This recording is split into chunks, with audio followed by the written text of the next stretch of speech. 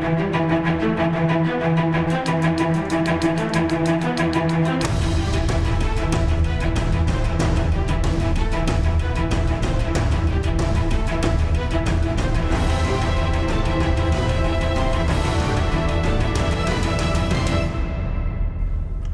Вітаю, з вами Шах і Мат, Мене звати Андрій Нікітін. Сьогодні ми поговоримо про підвищення вартості проїзду у громадському транспорті. З нами активіст громадського контролю Денис Сєлін. Пане Денисе, я вас вітаю. Власне, перше питання. Е, Планувалося підвищення проїзду на метро, у трамваї, у тролі- у тролейбусах, е, починаючи з 3 серпня, але його не відбуло е, не відбулося. Ваша оцінка, власне, ідеї підвищення вартості проїзду до 6 гривень у громадському транспорті. А, Добрый день. А, Смотрите, то есть э, у нас э, такая ситуация подобная развивалась э, с маршрутками, то есть с нашими типа автобусами, где ездят частные перевозчики. На протяжении последних четырех лет, то есть городские власти, что предыдущие, что при мэрии Филатова, пробовали различные варианты, как эм, по-быстрому поднять тариф. То есть э, через суды мы им доказывали, что те процедуры, по которым они пытаются поднять тариф, это не совсем корректны. После этого они таки начали пробовать э, проводить по более-менее логичным процедурам через общественные слушания и так далее. То есть э, и близкий к закону. Не идеально, но хотя бы что пытаться делать. А, Касательно повышения тарифов в общественном транспорте, то есть и- в электротранспорте, то есть в метро, троллейбус, трамвай, то есть э, у нас э, при прошлом повышении, то есть до 4 гривен, никто не опубликовал никакую калькуляцию, никаких документов. То есть у нас э, несколько раз чиновники вышли к СМИ и пояснили, что это необходимо. А, Но подробно что и как, из, чего состоит, не пояснили. Единственное, что мне запомнилось, то есть у меня отложилось в памяти, там, либо это на депутатской комиссии было, либо э, на каком-то совещании, они, э, либо на каком-то пресс-конференции, они говорили, что 4 гривен будет вполне достаточно и фактически электротранспорт выйдет на окупаемость или что такое. По крайней мере, отложил это в голове. Поэтому, когда вот сейчас они решили поднимать до 6 гривен, у меня возник вопрос, почему до 6? Почему не до 5, либо 5,50, не, не до 7? Вот как родилась цифра 6? То есть... э, И тогда мы начали детальнее смотреть э, вот всю процедуру. То есть идея с поднятием тарифа озвучена была э, публично для СМИ с 2 июля. Хотя начиная там, с начала января директор департамента задумывался о возможном повышении. И когда мы начали смотреть документы, то оказалось, что опять же они нарушают нормы законодательства. То есть вот они, если не ошибаюсь, 26 июля приняли решение о повышении, то есть это принимают исполком городского совета, и банальные вещи не были соблюдены. То есть у нас по законодательству любое решение должно а, быть опубликовано за 20 рабочих дней, чтобы все желающие могли с ним ознакомиться. Здесь они опять же куда-то спешили, оно провисело только 19 рабочих дней. Второй аспект, что в данном случае у нас э, любое повышение тарифов – это регуляторный акт. То есть это тот документ, который затрагивает интересы большого круга лиц. То есть в данном случае у нас, ну, наверное, минимум треть города э, может пользоваться электротранспортом.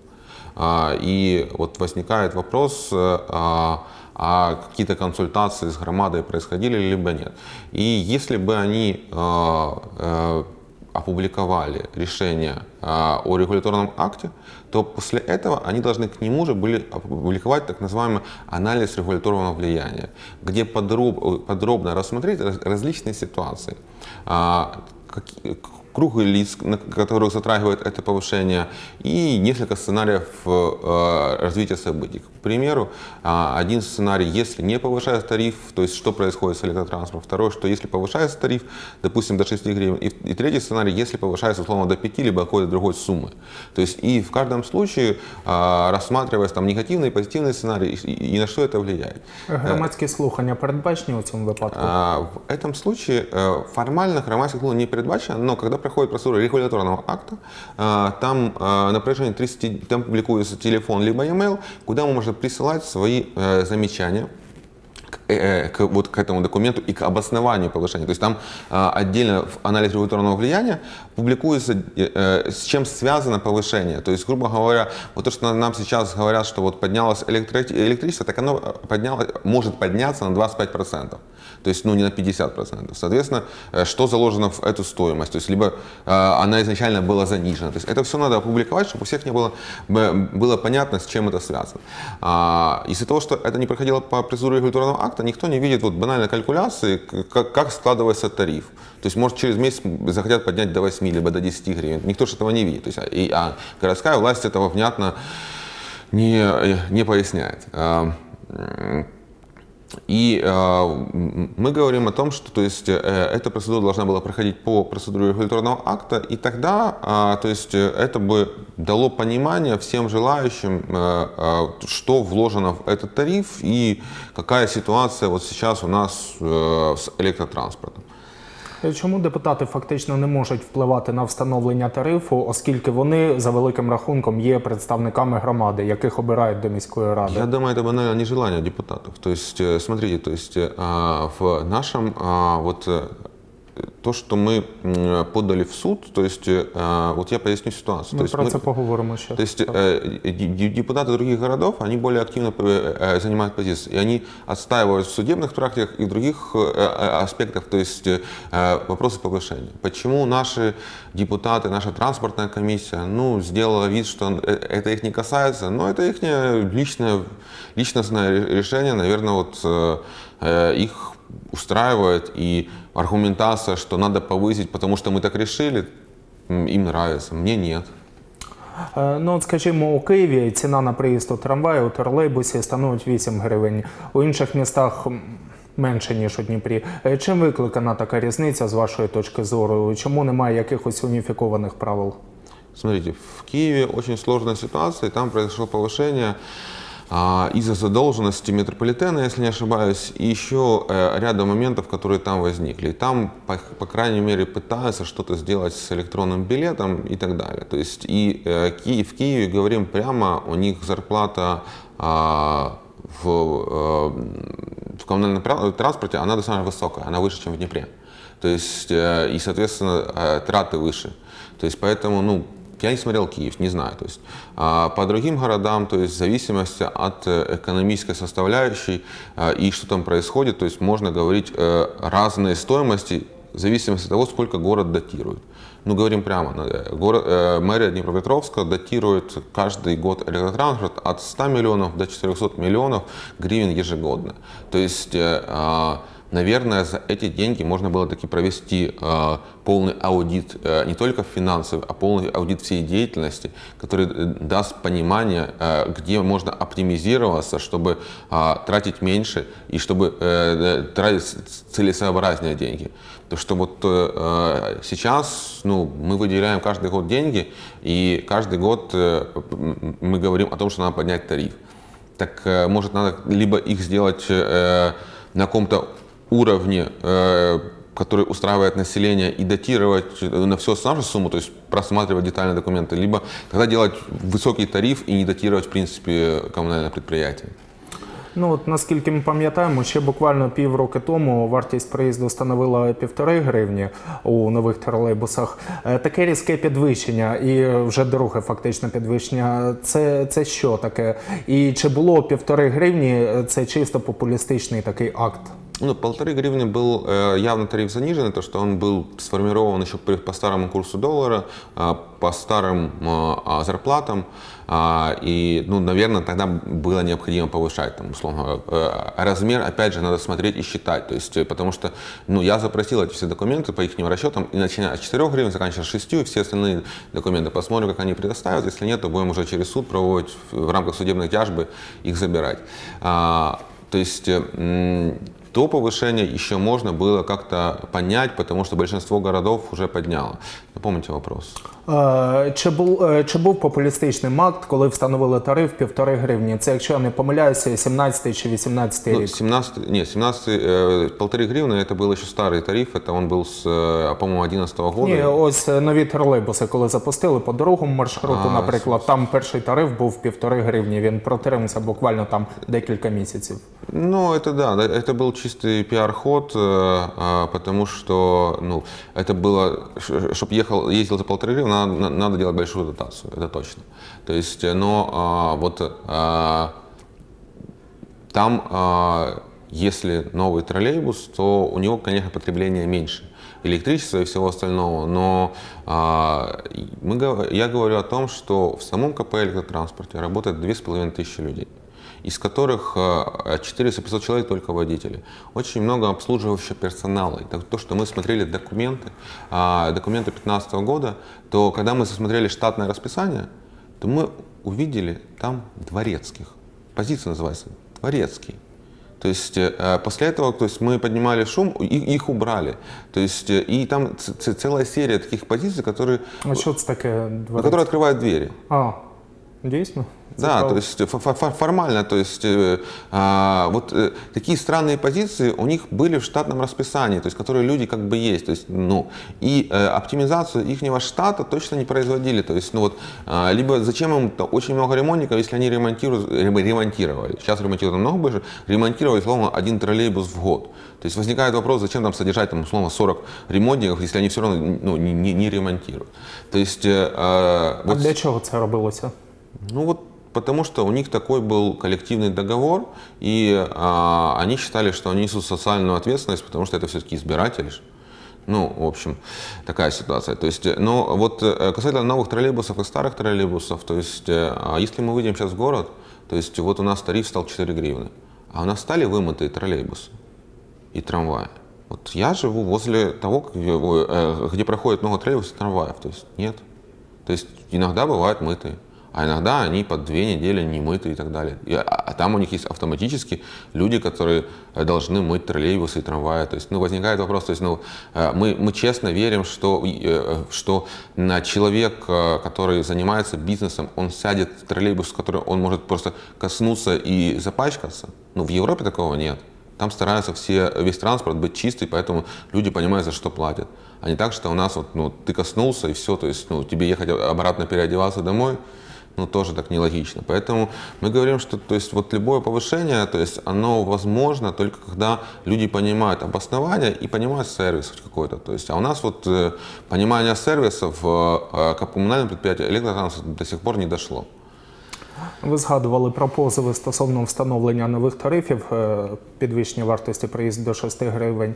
Розкажіть про це більш докладно. Смотрите, то есть, а, когда мы увидели ситуацию с нарушением законодательства, то а, мы э, подали в суд, при этом к а, самому иску есть такое понятие, как обеспечение иска. Это еще одно заявление, что если, чтобы суд до рассмотрения иска по сути принял решение. В данном случае, то есть, мы просили несколько вещей.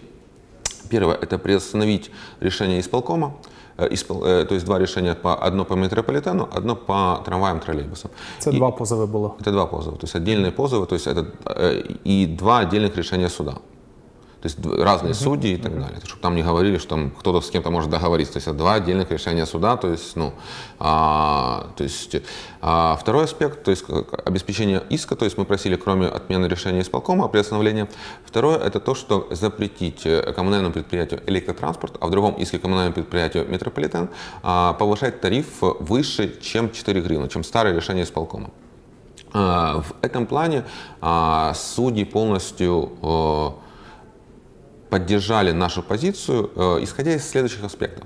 А, первое – это то, что если сейчас бы прошло повышение, а суд бы принял, э, потом постановил, что а, были нарушены права, фактически вот вернуть вот эти вот разницу между 6 и 4 гривен людям было невозможно бы обратно. То есть поэтому а, он принял э, один из аспектов, почему он это принял. Второй аспект – то, что есть решение ЕСПЧ, Европейского суда по правам человека, есть подобные решения Верховного суда, есть подобные решения других апелляционной инстанции в Украине, то есть где а, они становились на э, ту же позицию, как мы, что должна проходить та либо иная процедура.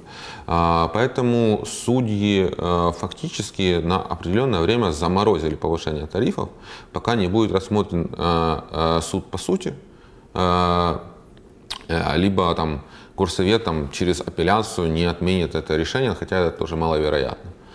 по моей точке зрения. То есть в данном случае то есть мы ждем э, рассмотрения исков по сути, где э, мы сможем увидеть э, всю детальную э, расшифровку электротранспорта и метрополитена, почему такой тариф решили делать, почему там не 5,50, не 8, не, а, а 6.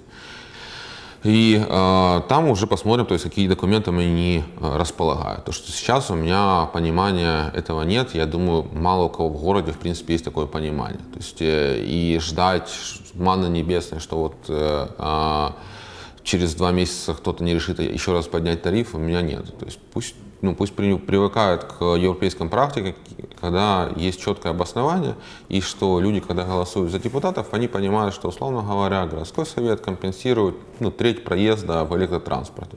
То есть, окей, то есть, ну, все соглашаются, когда идут на выборы, что вот треть проезда в электротранспорте, мы э, э, э, э, вместе скидываемся и погашаем, а, та, и, и тариф у нас, условно, там 5 гривен.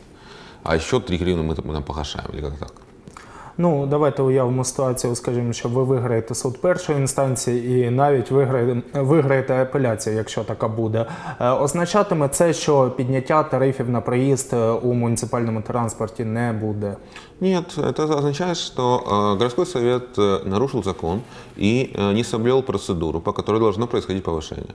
То есть на самом деле сейчас городской совет спокойно может с завтрашнего дня опубликовать решение, при, собрать исполком, принять решение, что мы хотим э, внести э, повышение тарифов э, как регуляторный акт в процедуру регуляторных актов, список решений по регуляторным после этого опубликовать э, все согласно регуляторной процедуре, и, условно говоря, через месяц э, поднять тариф, это, в принципе, возможно, если они соблюдают, э, э, выдержат все сроки, выдержат всю законную процедуру.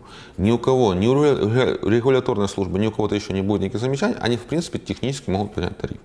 Ну, то есть это займет определенное время, но у всех будет хотя бы понимание и точка отчета, с которой стартовать а, по тарифу.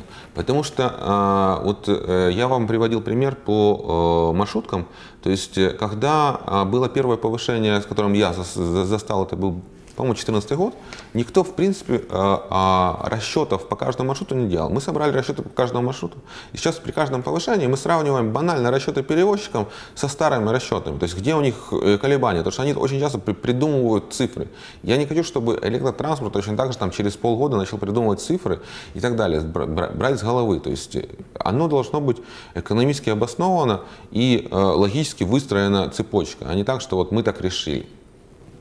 Ну, таке питання.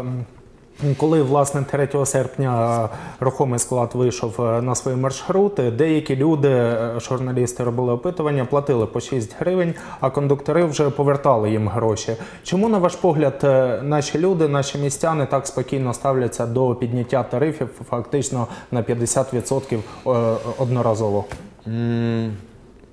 Ну, все понимают на самом деле, что у нас проезд дешевле, чем в Европе.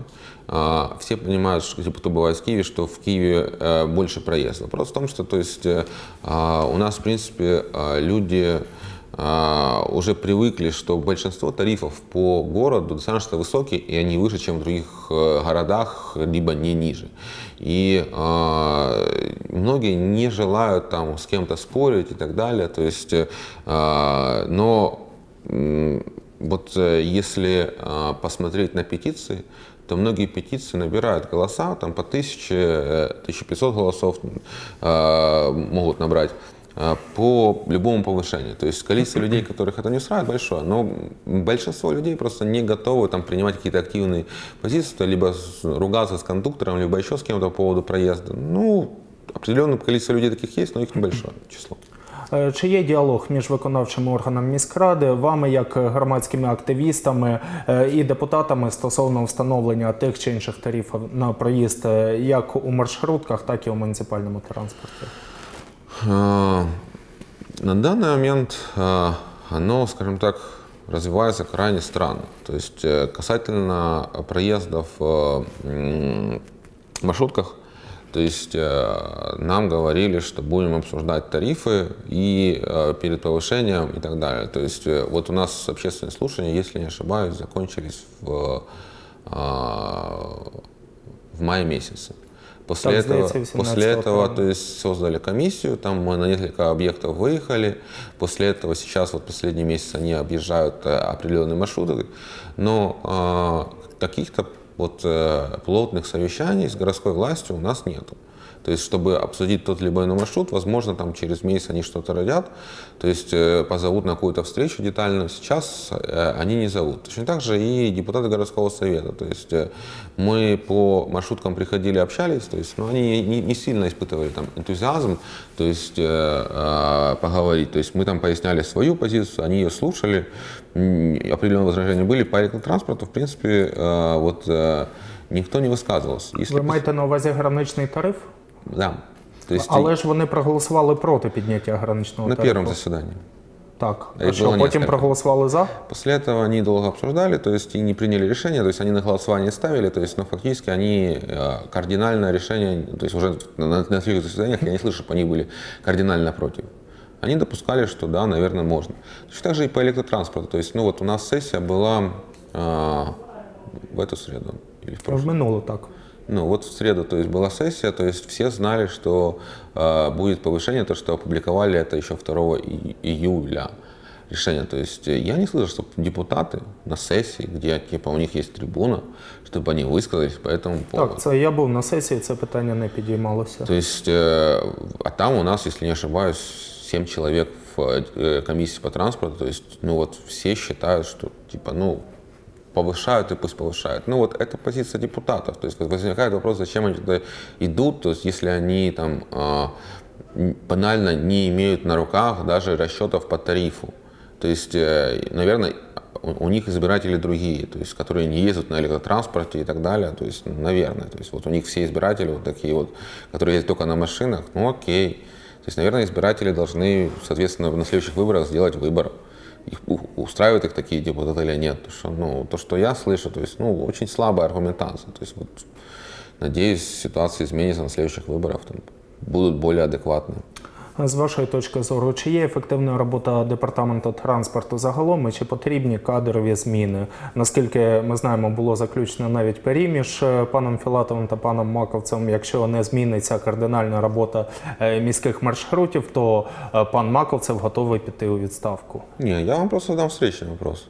Вот э, если вы, я могу дать телефон Маковцева, вы можете, его, могу, э, э, вы его позовите и пригласите просто Був на на- минулому тижні. нет, на эфир с жесткими вопросами. То есть на эфир, когда ему может задавать не только ведущий вопросы. То есть на 80% таких эфиров он не ходит. То есть он ходил на один или два эфира за последний, за последний год.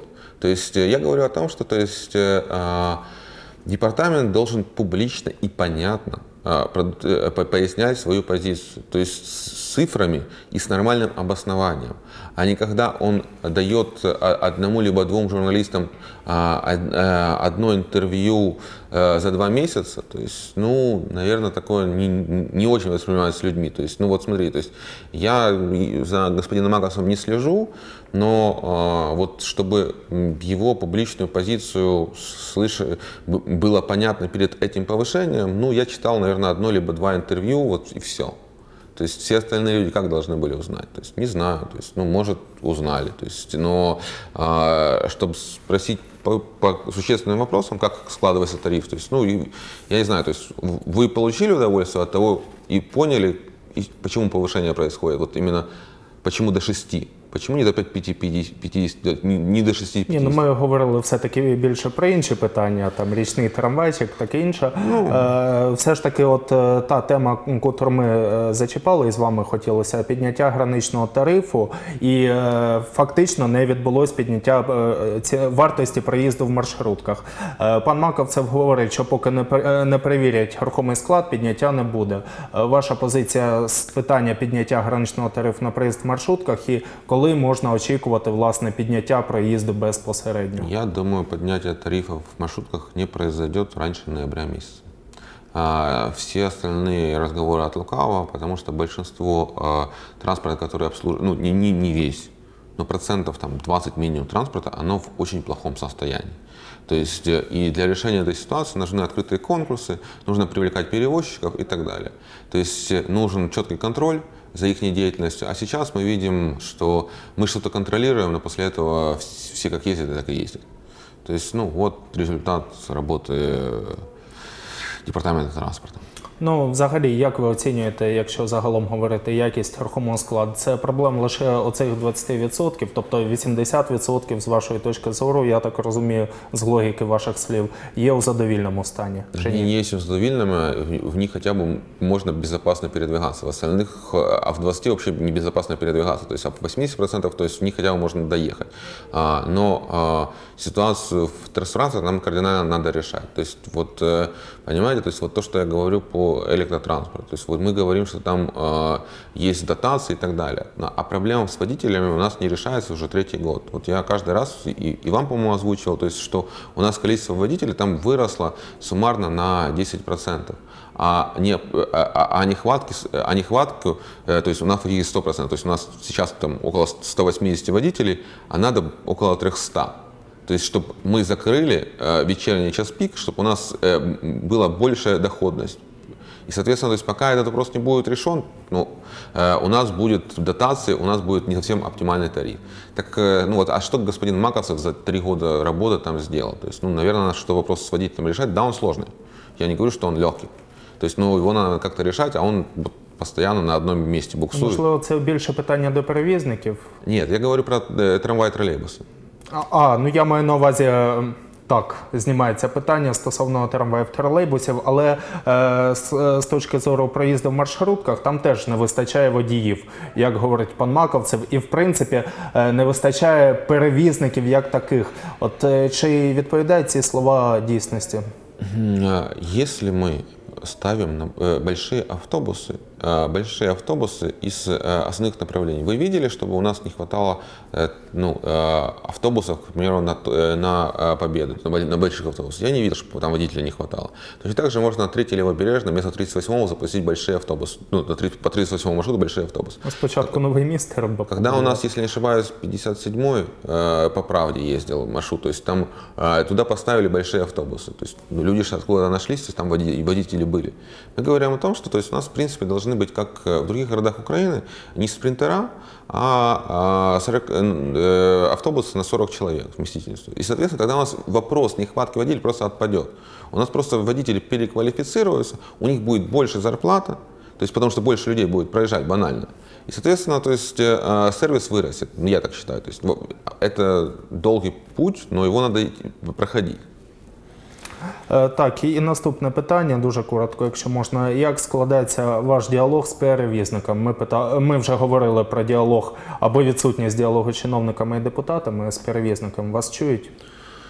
А, Перевозчики понимают, что в ряде моментов мы правы, в ряде моментов, то есть они не согласны, но э, на всех публичных мероприятиях, э, либо после них, они пытаются поговорить, послушать нашу позицию, то есть и если понимают, что они не правы, они пытаются что-то исправить, но, э, понятное дело, то есть э, первую скрипку для них играет э, позиция властей, то есть если власти зададут чуть другой тон, то есть они, я думаю, э, перестроятся и будут более детально э, уделять внимание тем или иным вещам. Сейчас пока этого не происходит. Касательно электротранспорта, то есть ну, с электротранспортом мы говорим, с метрополитеном мы не говорили. Що ж, я вам дякую за цю розмову. Нагадаю, сьогодні ми спілкувалися з активістом громадського контролю Денисом Селіним. На все добре.